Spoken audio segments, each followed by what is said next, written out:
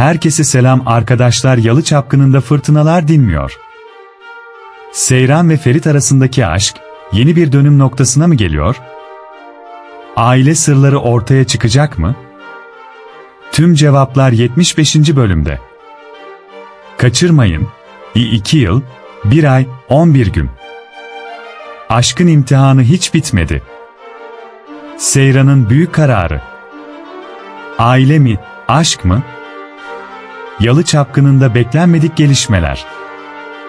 Gözyaşlarına boğulacaksınız. Seyran ve Ferit arasındaki ilişkinin karmaşıklığı.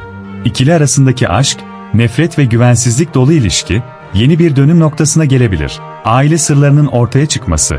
Yalı ailesinin geçmişiyle ilgili sırlar, Seyran'ın hayatını daha da karmaşık hale getirebilir.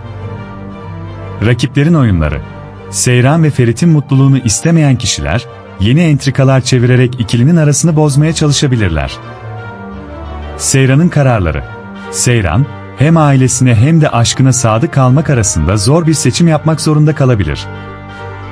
Evet arkadaşlar abone olmayı ve videoyu beğenmeyi unutmayın. Yeni videolarda görüşmek üzere hoşçakalın.